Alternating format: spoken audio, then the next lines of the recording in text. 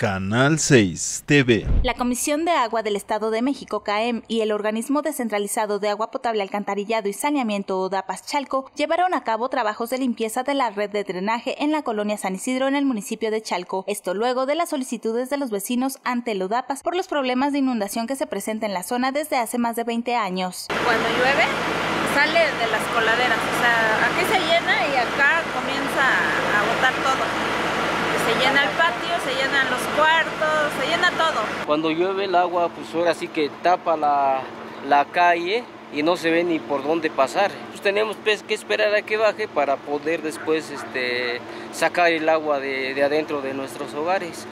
Entonces, pues la pérdida de muebles y todo eso, pues siempre ha corrido por nuestra cuenta, porque pues no, no de los de las solicitudes que se han metido, pues no, no, no, no se nos ha hecho caso. Y es continuamente año con año este mismo esta misma problemática. Los trabajos consistieron en la limpieza de los pozos de visita que se ubican en las calles San Isidro 24 de febrero y la 5 de febrero, en por lo menos 200 metros lineales. El personal de la CAEM y ODAPAS señaló que fue debido al taponamiento de la línea principal de la red de drenaje que se ha generado el problema de inundaciones en la zona, por lo que exhortaron a la población a no tirar basura en las calles. Por su parte, los vecinos hicieron un llamado a las autoridades municipales para la pavimentación de sus calles, pues comentaron que la tierra también contribuye a los taponamientos en el drenaje. Pero también me gustaría que nos dieran banquetas, que nos dieran ya de perdido banquetas, porque el, predio nos cobran un montón, el agua, todo lo que los servicios